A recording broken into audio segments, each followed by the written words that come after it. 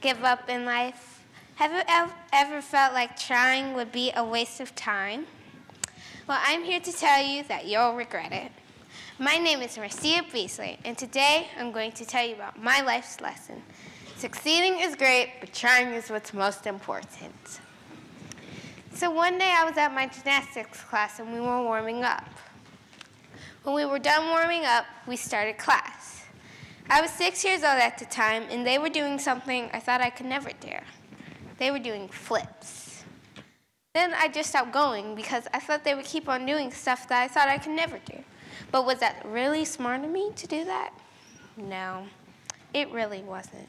I didn't take effort to try. I could have been at so many.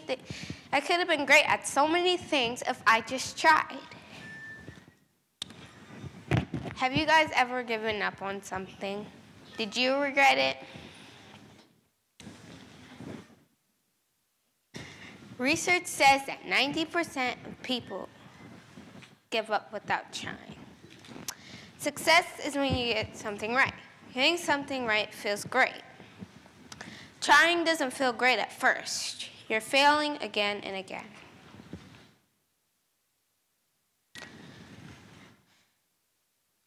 Trying should be a commitment to a goal, a constant pursuit. When we are experiencing challenging tasks, we have to have endurance to get through them.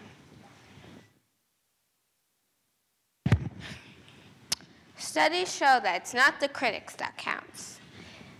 Not the man who points out how strong man stumbles or the juror of deeds could have done them better. The credit belongs to who is trying because they are growing. You're getting to know yourself. It may sound weird to say that you don't know yourself as well as you could, but it's actually true.